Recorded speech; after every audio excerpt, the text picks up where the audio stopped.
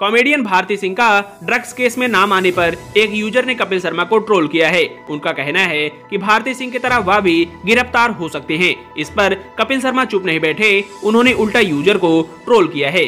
Comedian Bharti Singh ने drugs के seven की बात को नारकोटिक्स कंट्रोल ब्यूरो के सामने कबूल किया था, जिस पर काफ़ी विवाद हुआ। एक यूज़र का कहना है कि भारती सिंह की तरह कपिल शर्मा भी इसका सेवन करते हैं। यूज़र ने लिखा, भारती का क्या हाल हुआ? जब तक पकड़ी नहीं गई ड्रग्स लेती थी।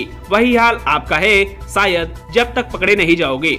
कपिल शर्मा ने इस पर पलटवार करते हुए लिखा, पहले अपने साइज़ की शर्ट सिलवा मोटे। हालाँकि, बाद में कपिल शर्मा ने अपना यह ट्वीट डिलीट कर दिया। बता दें कि कॉमेडियन भारती सिंह और पति हर्ष लिम्बाचिया को एनसीबी ने 22 नवंबर को ड्रग्स के सेवन और घर में पचासी ग्राम गांजा पाए जाने पर गिरफ़्तार किया था। दो दिन बाद कोर्ट में सुनवाई के चलते दोनों को जमानत मिल गई थी। कपिल शर्मा इस समय खुद के popular comedy show the Kapil Sharma show की शूटिंग में व्यस्त हैं। खबर आई थी कि कपिल अगले साल दोबारा पिता बनने वाले हैं गिन्नी चतरथ प्रेग्नेंट हैं। दिवाली की फ़ोटोज़ में उन्हें बेबी बम छिपाते देखा गया था हालाँकि कपिल शर्मा या उनके परिवार की ओर से इस पर अभी तक कोई बयान या रिएक्शन नहीं आया है